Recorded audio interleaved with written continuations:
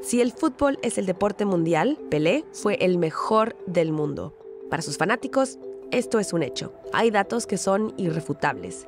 Es el único jugador en la historia que ha ganado tres campeonatos del mundo. Otros datos son más discutidos, como el que marcó más de mil goles. Pero lo que está claro es que fue el motor que impulsó el éxito del fútbol brasileño. El pentacampeón del mundo no había ganado un solo mundial hasta que tuvo a un adolescente Pelé entre sus filas. Pelé, o Edson Arantes do Nascimento, nació en Brasil el 23 de octubre de 1940. Everybody in school, all the kids started calling Pelé. I hate that time. Today I love, of course. Now I love it because uh, I don't know. God gave to me short name, easy to pronounce it, any language you can remember Pelé. Y usaba ese nombre para referirse en tercera persona a sí mismo. Una de sus frases más famosas es Pelé es perfecto. Edson es una persona como cualquier otra. Ese Pelé perfecto llevó a Brasil a levantar la Copa del Mundo tres veces. En 1958, con solo 17 años, Pelé jugó su primera Copa del Mundo marcando seis goles en cuatro partidos. Brasil quedó campeón por primera vez en la historia en una final en la que le ganó a Suecia, el anfitrión. Y Pelé ganó el premio al mejor jugador joven. En 1962, Brasil volvió a alzar la copa en el Mundial de Chile, a pesar de que una lesión le impidió a Pelé jugar los partidos finales.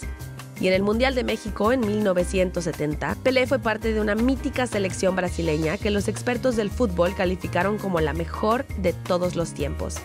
Este fue el último Mundial de Pelé.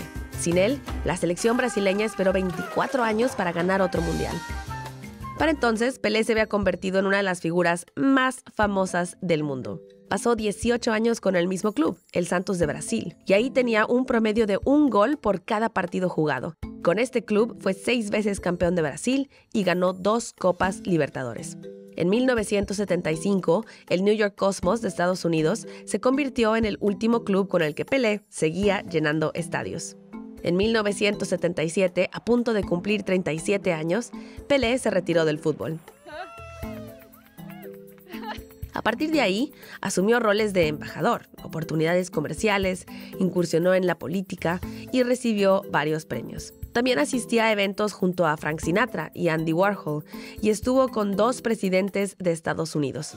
A lo largo de su carrera, fue protagonista del eterno debate que alimenta la rivalidad entre Brasil y Argentina. ¿Quién fue el mejor jugador de todos los tiempos? ¿Pelé o Diego Maradona? Cuando Maradona falleció en noviembre de 2020, Pelé rindió homenaje al argentino en Twitter. Dijo que esperaba que algún día pudieran jugar a la pelota juntos en el cielo. Fique bem claro, eu agradeço de coração tudo que eu tenho recebido nesse mundo. Os meus fãs, as pessoas que me adoram. Muito obrigado.